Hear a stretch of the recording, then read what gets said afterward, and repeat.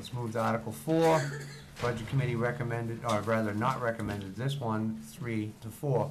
Does anyone wish to speak on Article Four? Yes, ma'am. Ah, the Lady of Hampton. Welcome. I'm Nancy Stiles. I live at One Hayden Circle in Hampton. I have no children or grandchildren in the Hampton School District at the moment. But of all of the articles, this is the one I am most passionate about. And that is because I think providing security and a safe place for our kids to learn, a safe place for our teachers to teach, is probably one of the most important things that this community can do for its school system. We are looking for excellence in our education, and we have that. I want to continue that by making sure that we have a safe school. There is nothing more important than a child developing a relationship with a police officer at an early age, age five, six, seven, nine, so that when they get older, they have that to rely on. I want to have someone in our schools that is trained to react in a crisis. God forbid we should ever have one. I hope we never do.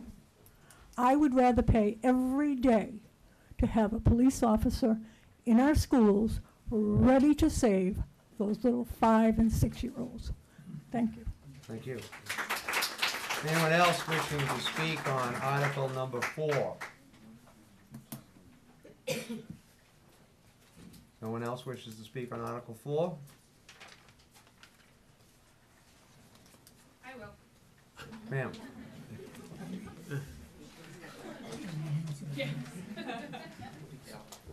Amy Hanson, 98 Locke Road. Um, I've uh, participated in um, the schools for several years. I have uh, two seventh graders and a sophomore. So I've witnessed the SROs working in schools firsthand. So they're not only there for safety, they're also there for um, community building with the students. So students are interacting, they're getting to know police officers firsthand. In addition, the, this SRO is there to address issues for children at risk or who are not making uh, great decisions. And we want to influence these lives of these children, whether they're in education in life or education in their classroom. So I think community building to have our police officers, especially with everything that's happening in the world today, um, to have children get to know them on a, on a in a positive way, in a safe setting, in addition to, uh, as a no-brainer, as she said, uh, the security and safety of our, our children. Um, the other thing is when you put a cost on it, uh, the other night, I did agree with you. You could, we could throw money at this for a long, long time, security measures in our school. I agree with you. It's one of the fastest-growing businesses in the United States. But I don't find the superintendent and the decisions that they make to be wasteful. If anything, you're always like, oh, we really wanted that, but, you know, we do without. But this is one of those issues that should go directly to the public, and I know you can't prevent that. Um, but I, I think the community needs to decide whether they want to spend that hundred thousand dollars or not to protect their children. And I think you can see we have a pretty passionate community about their children. So thank you. Thank you.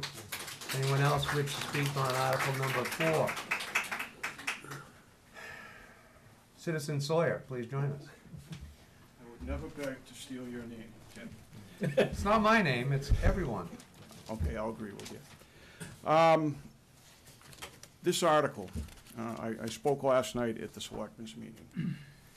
And I understand the conversations sometimes where, where is that line? And again, I agree with you, I'm a taxpayer in this community. By the way, Rich Sawyer, forty-one Vanderpool Drive, so I'm here as a citizen. Welcome, Citizen Thank you, I appreciate it. I believe that this is a topic worthy of discussion, Mhm. But I also think it's a topic worthy of mature Mhm. discussion based on facts, Mhm. okay? And I think as citizens, we all have to make that decision. Is this something we can afford? And I truly do respect the people that don't agree, that they think it's either they don't agree with the concept or they don't agree with the cost. Mhm. I respect your vote on that. What I would ask the citizens when they weigh that for themselves, and have heard what they say, make those the reasons you discuss it. Make those the reasons you make your decision on how you cast your vote. But don't allow some of the things that we've heard in this room by some members of this committee that were nothing but mudslinging and derogatory towards an entire group of people, police officers because of a tragedy that happened in Florida somehow affects how we should vote in Hampton on this. It had to be one of the most ridiculous discussions I've ever experienced in thirty years as a police officer. I get it, sometimes people don't like the police. And sometimes people have axes to grind because of the actions we have to take. And if that isn't clear to people that that was what was going on, then I invite you to go back and watch the meetings. It was a ridiculous exhibition, and please don't allow that to influence your vote. Don't allow it, if, if, if you don't agree with me that this is not a good idea for our schools, then vote against it. Somehow, we'll get through it. We, the world is not gonna come to an end if this doesn't pass. But make your vote intelligently on mature discussions. Thank you. Just to be, just just to be clear, you, you said that we should not, we should not look to Florida for our. I'm sorry, I can't hear you, Tim. You, you saying we should not look to Florida for our example? Is that what I heard you say? No, so the, the manner in which, again, we can have discussions about looking around at what's going on around us, absolutely. But in, to lump it in the manner it was categorized, I don't, I don't think anybody that's reasonable could say that was a reasonable discussion. All right, That's so my it's the opinion. characterization, not The the characterization. That's Okay, all, we thank you. obviously, when we look at these programs and how we develop them, you have to look over the hedges. You have to look at what other people have done and take the lessons learned. Got it. But to sit there and cast aspersions of- against police officers in general over what happened down there, it's just absolutely ridiculous commentary, in my opinion. Thank you. Thank you. Anyone else wish to speak on Article number four? Yes, sir. Good evening. Welcome. Um, I, I come up here to approach the Budget And Committee. you are, of course, Keith Keith Lassard. Lassard, one seventy-three Mill Road, Hampton, New Hampshire, Mhm. USA. Welcome, Keith. Thank you. Um, I understand you guys have a hard job to do, and sometimes it's difficult to do, and you do have to make certain decisions. Um, but at home, when I was watching the discussion about police presence, uh, in our schools, um, at first, when I was, when they first came to schools, I thought, do we need cops in schools? I'm from a different generation, I guess. But you know, after I've seen, I'm sorry to use the word cop, but that was in a, a, a, We don't mind. a, um, in, in a, in a good way. Yeah. There were comments made that there were not any shootings at schools in New Hampshire. Sadly, there was in Walpole Elementary School. And I know this, um, actually, I'm getting some, I call them chicken pimples, but they're goosebumps. And um, Anna, our assistant AP, was at that school when there was a shooting. So she brings some realistic comments to our leadership team when we talk about security. The young lady that spoke earlier about security at Center School, security is paramount to everybody. We teach people in the buildings, don't be looking in, look out. See who's coming up to the building.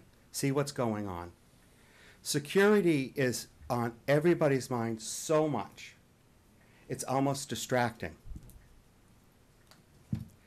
The other thing is, another story that, well, it's not a story, it's a fact, but in the book about the Sandy Hook shooting, that young man that came from Kingston, New Hampshire, he does have roots in New Hampshire, he went by the high school after he murdered his mother and saw that there was a police cruiser there. What did he do? He drove to the next building. There was no police cruiser there. That's when he went in. So, there's a lot of power in a police cruiser being parked in front of a school. There's a lot of good outcome for students to develop positive relationships with policemen. I just think you really need to think deep on, I think this is money well spent. I don't like spending money either.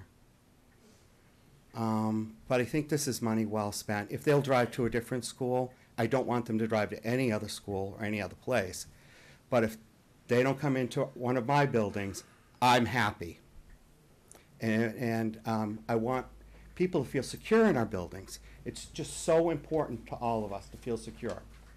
We practice lockdown drills, we pa- practice evacuation, and you know, Hampton PD and Hampton Fire Department are very involved. They have quick responses, they're there for us. But I just, I wanna, I don't wanna dwell on it any longer, but there's no pen here for my, my, my name down on. But, um, thank you.